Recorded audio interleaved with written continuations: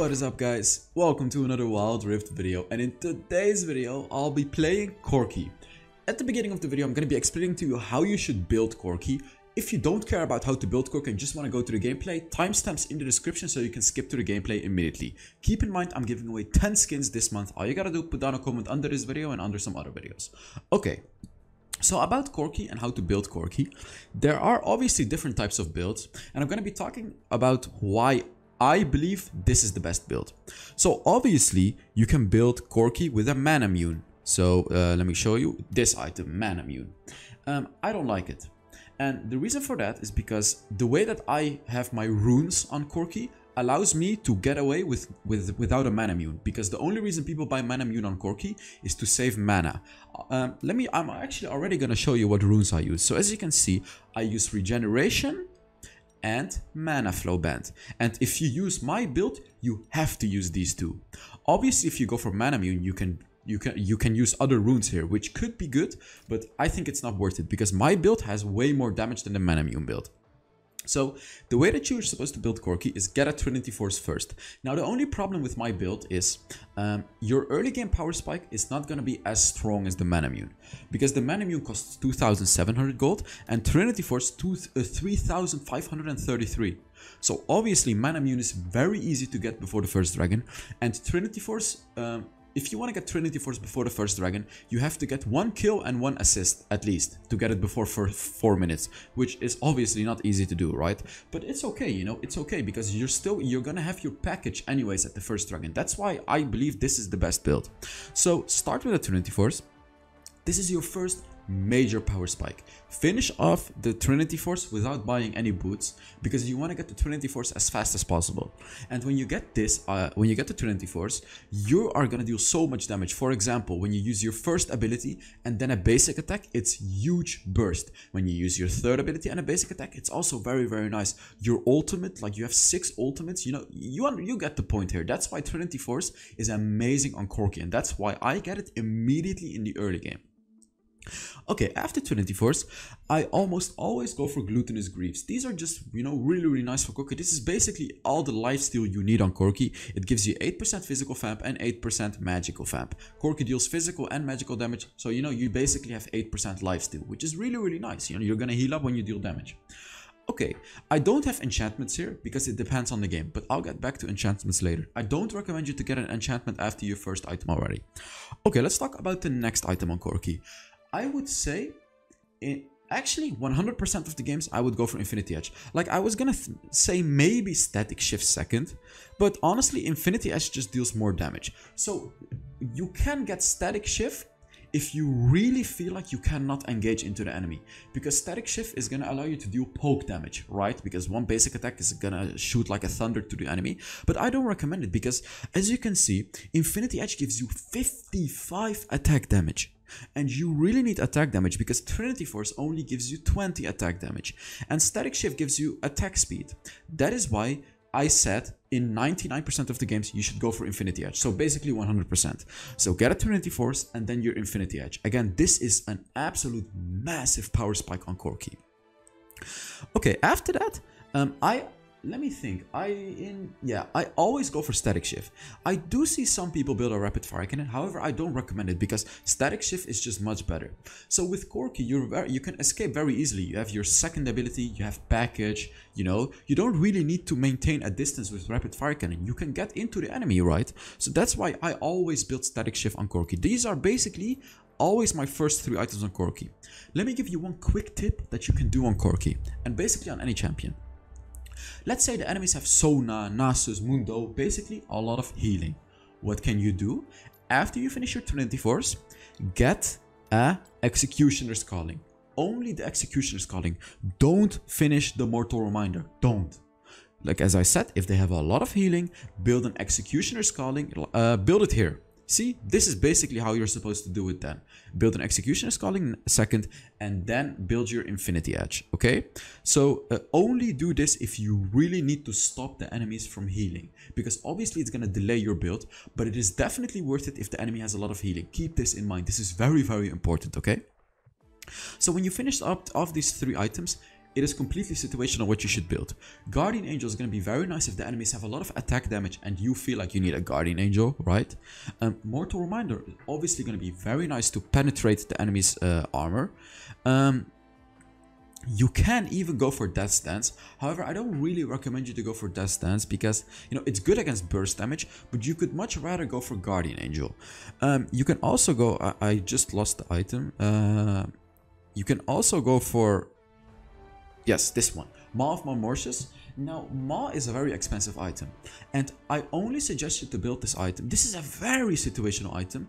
Only build this item if the enemies have a lot of ability power. And listen carefully, build this if enemies don't have as like uh, let's say enemies have an ADC Jinx and 4 ability power champions. And let's say the enemy Jinx is 0-3. So what does that mean? The Jinx is not really doing anything. What you can do is build a Maw of Malmortius. Because this item is going to make you incredibly tanky against ability power. And you know, if the enemy Jinx doesn't do anything anyways, this is going to be a game-changing item, okay? So when do you build Maw of Malmortius? Build it if the enemy doesn't have... Um, either if the enemy doesn't have uh, attack damage or if the enemy attack damage champion is doing really badly right? Only then you can get the Maw of Malmortius. You can also get a Phantom Dancer, perhaps. So I only recommend you to get a Phantom Dancer uh, as your later items if the enemies have like a lot of diving and you don't like you want more damage because Phantom Dancer is going to give you more damage than a Guardian Angel but it's riskier, right? It's riskier. It does give you it does give you the shield, it's true. It gives you the shield, but obviously Guardian Angel has way better survivability than Phantom Dancer. So do you want like a lot of damage? Get a Phantom Dancer instead of Guardian Angel. Do you feel like you have enough damage and you just want the Guardian Angel? Get a Guardian Angel, right? That is basically how you're supposed to build Corki. And here, Conquer. I always run Conqueror on Corki. It's just very, very nice. You know, you can stack it with your first ability, basic attacks, ult, everything. You know, it's very, very good. And here, honestly, um, you can go for a lot of runes here. Like, I'm going to be 100% honest with you guys. Brutal is good. Gathering Storm is okay. Not the best, but okay. You know, you're gonna lack early game damage. That's why I go for Brutal, but it's still okay. Hunter Vampirism is okay too. This one is okay, but if you go for Hunter Vampirism, don't go for Lifesteal Boots. You can go for Ionian Boots of Lucidity if you go for this one. Triumph is I don't really recommend it because you're quite squishy, so no, don't go for Triumph. Um, champion, you can also go for Champion if you feel like you are really, really good at Corki and you won't die in the early game. But with Champion, you have to play very passive. Make sure you maintain the Champion, the bonus damage until the first Dragon. Then it is actually okay to die because you're gonna have Package and Package on top of the Champion rune, you should demolish the enemies in the fight. Okay, and here, as I said, if you go for my build, regeneration is a must-have. And mana, mana flow band is also a must-have. Obviously, unfortunately, you're not going to have a sweet tooth. But as I said, if you don't build a mana mune, you really need these two. With these two, you're not going to have mana problems. If you if you miss out any one of these two, you are going to have mana problems. As your spells, Flash and Barrier, you know, for very, very nice survivability. Okay, let's get into the gameplay.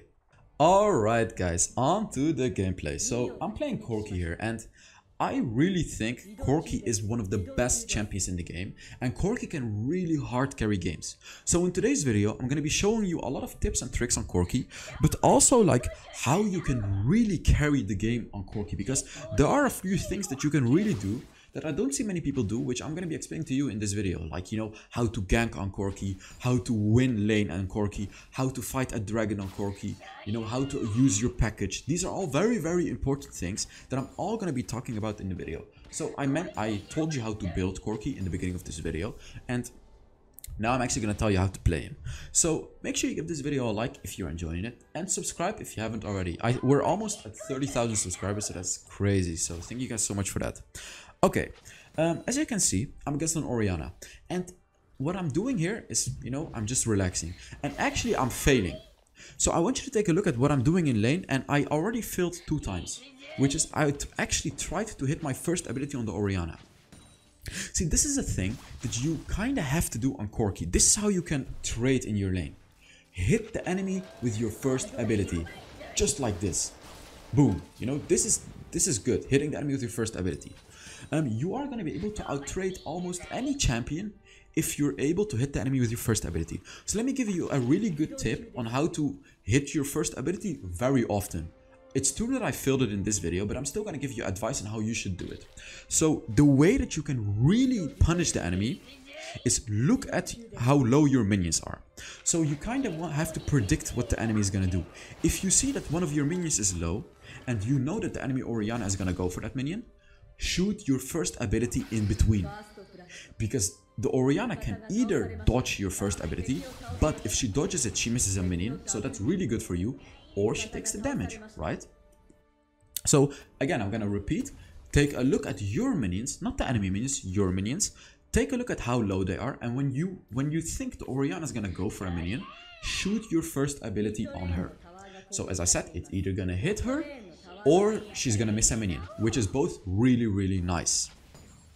Okay, so like up until now, I actually didn't really do too well.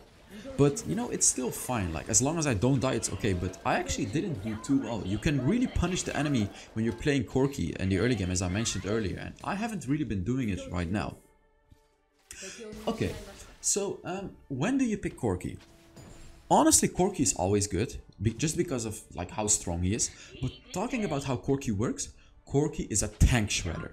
If you're against a lot of melee champions like Mundo, Galio, uh, Darius, you know, Wukong, basically melee champions that are supposed to build tank, pick Corki Corki has a beautiful kit against these champions because your third ability shreds their armor, your first ability is going to be very easy to hit, your second ability is going to allow you to escape, leave a trail that damages the enemy, your first ability is going to be a free hit, your package is going to be, you know, basically everything is good against tanks.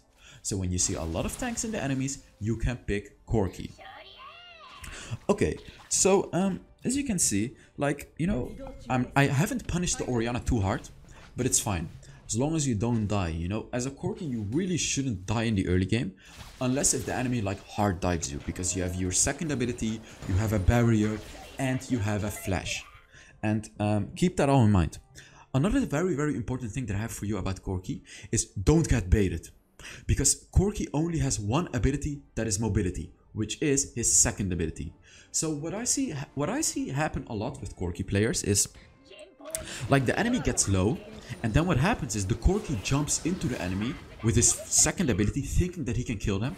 And then what does the enemy do? Use a barrier and then Corki gets ganked. So if that happens, you die. Don't get baited. It's almost never, almost never a good idea to engage with your second ability. Trust me, almost never. Unless you are ultra ahead in the game, so you can like one-shot the enemy, then it's okay. Or if you know that there is no enemy around. One of these two.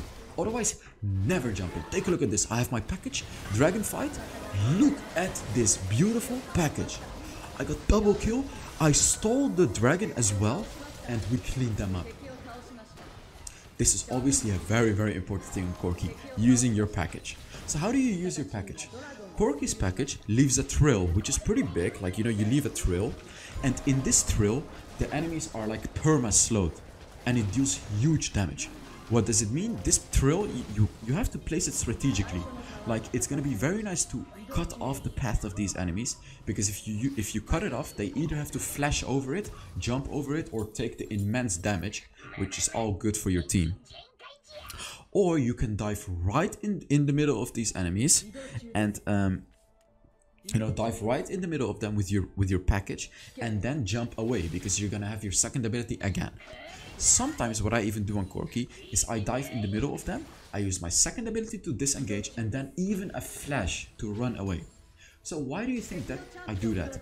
I only do that to get a really nice package, you know, because this package is gonna leave the big trail and it's gonna really do good against the enemies. As you can see here, I actually did dive the enemy. Why? Look at the map. Ezreal top lane, two people bot lane, easy peasy dive. That is the only reason you should dive the enemy. Otherwise, never do it. Okay? Never, as I said. You either have to be super ahead or you have to know where all the enemies are. Otherwise, it's super risky because it's your only escape ability. So as when you're playing Corki as well, um, the way that you wanna the way that you wanna fight is use your third ability And during your third ability, shoot your abilities and basic attacks. I actually failed. Oh my god. Oh god, look at this. Oh, I did get the double kill though. Damn so much damage. So this is yet another thing that you can do on Corki. Your rockets and your first ability deal huge damage. Oh my god, I got wrecked. Wow, that was beautifully played by the Gragas. So your, as I said, your rockets and your first ability deal huge damage, and they both deal AoE damage. So something that's also quite important is every third rocket from your ultimate is like a big rocket. And the big rocket deals bonus damage and it deals damage in a larger radius. So you, you can see it um, uh, in your ability. As you can see, I think this is the yeah this is this is the big rocket, the red one. The red one is the big rocket. So this one has more range, deals more damage, and has a bigger radius. So try to utilize it effectively in a team fight, right? Because this one is gonna allow you to deal massive damage. Another tip that I have for you, don't waste your rockets. So your rockets are gonna be the most effective while using your third ability. Why? because your third ability is gonna shred the enemy's magic resist and armor, thus making your making your ultimate ability deal more damage. So if you can, try to save your ultimate like 4, 5 or 6 rockets for when you use your third ability. Don't use your ultimate just to poke the enemies, because then it's really not gonna do any damage. So use your ultimate to maximize your damage per second. Maximize your damage per second. And take a look at this. Again, uh, what I did in this game, let me check what I did. It is easy fight, did I say that? Because, yes, I have another tip for you about the package. Don't always take the package. Actually, I am gonna ask you guys to let me know in the comments why you should not always take the package. This is not an easy question, but I'm really curious about what, why I said it. You know, let me know, or maybe you disagree. Maybe you disagree.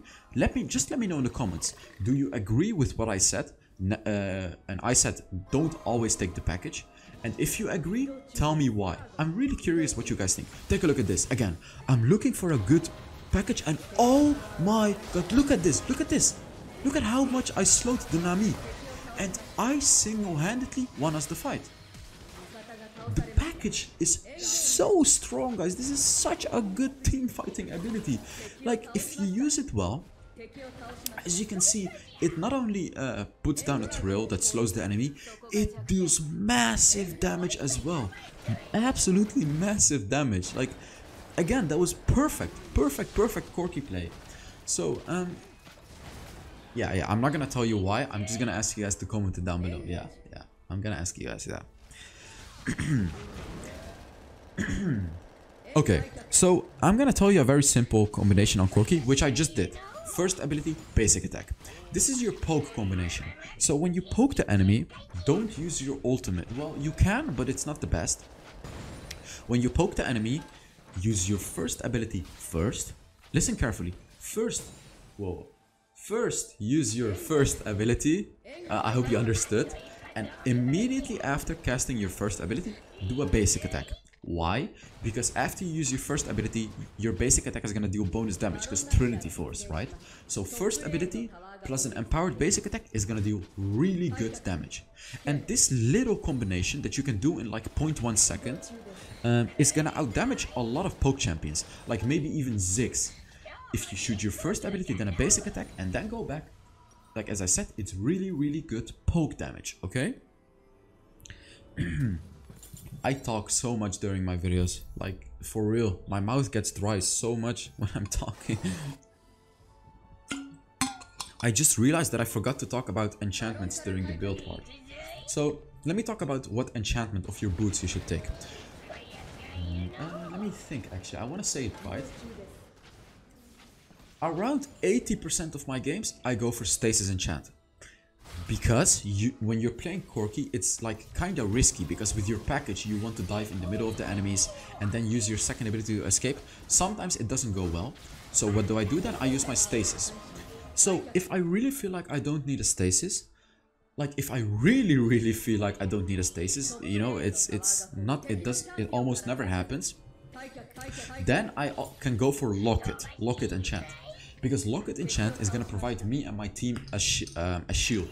I almost never see anyone build Locket anymore, but I still believe it's a really, really good enchantment. You know, Locket is very, very nice. If one of your teammates has a Locket, it provides a lot of value in the later game. So here, again, I have a package. So let's take a look at what's gonna happen.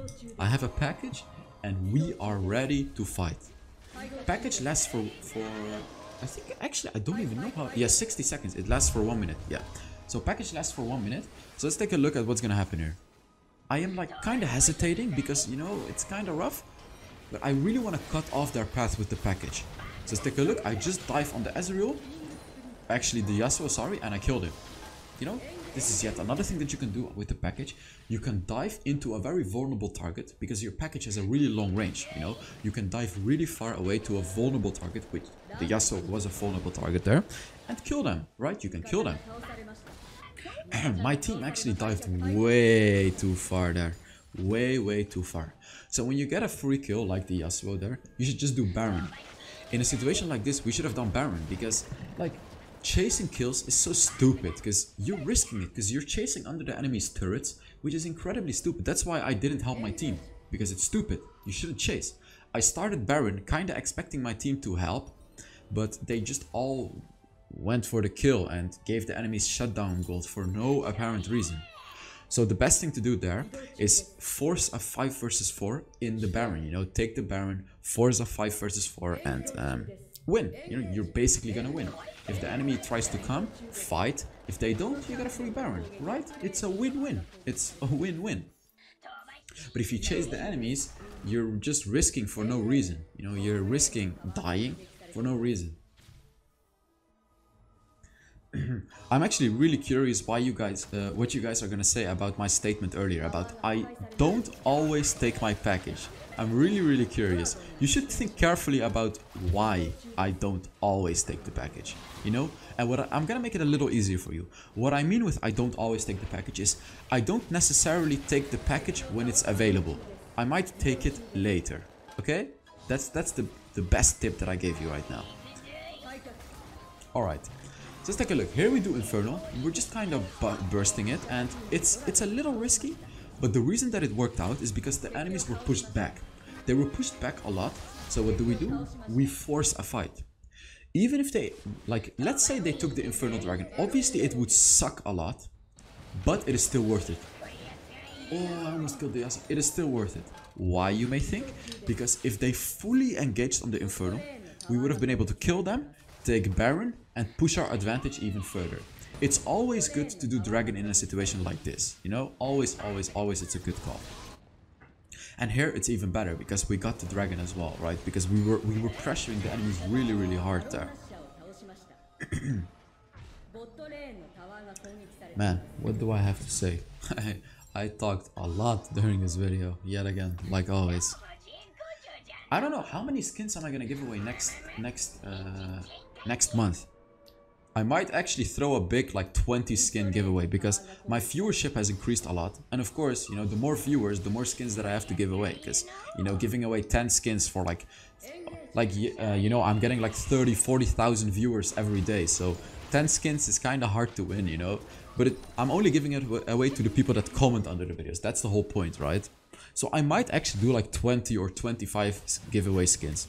The, the only reason that I actually increased the giveaways is because some very generous people actually donated to my YouTube channel. So, you know, I decided to give away more skins because people donate. I want to give it back. I want to give back something, right? Alright, so as you can see, at this point, I am incredibly strong. And when you're super strong like this, you have to focus on not giving the enemies a shutdown. Don't think you have won the game already if you're as strong as me right now. Because there is always a chance that you throw the game and give the enemy shutdown gold. And if they kill you, they get like 1400 gold. Let's say the enemy ADC kills you. Of course, what's gonna happen? They get 1400 gold. They're gonna make a comeback. They're gonna get like a almost a full item. So as you can see here, you know, we won the game. I got the MVP, dealt a lot of damage. And yeah, I really hope you guys enjoyed this video. Make sure to give this video a like and subscribe if you haven't already. And I will see you all in the next Wild Rift video. Bye bye.